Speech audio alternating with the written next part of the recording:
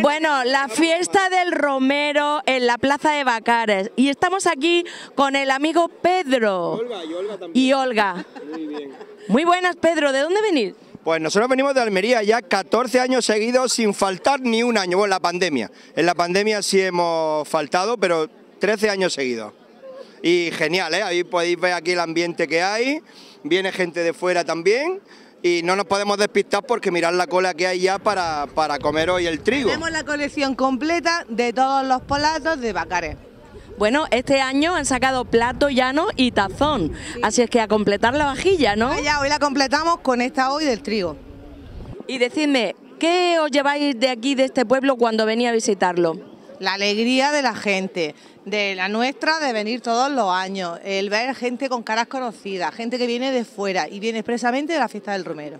Porque os encontráis prácticamente todos los años a la misma gente. A la misma gente y gente nueva que viene por primera vez. ¿Y qué os ata a vosotros a este pueblo? ¿Cómo lo conocisteis? No, pues la verdad es que la gente, porque mis niños casi han nacido aquí. Si es que yo, mis niños se han criado en esta plaza. Es decir, desde chiquitillos ahí han estado jugando por aquí con los patinetes y la verdad es que... ¿No? Y los tuyos, y los tuyos también. Nosotros también. Se han criado aquí. han- han- Ya, aquí ya están ya mayores Aquí y a ellos les encanta y- venir todos los años también. E Así incluso que- nos ha nevado, en la fiesta algún año nos ha nevado, hemos pasado frío y el tiempo de este año es increíble. ¿El primer año que hace este tiempo tan admirable? Sí, la hace verdad ya es que mucho sí. tiempo no recordábamos aquí en Bacares el tiempo en esta fiesta así. Pero bueno, la nieve tampoco os va a detener a vosotros. Bueno, Nunca nos ha no. detenido.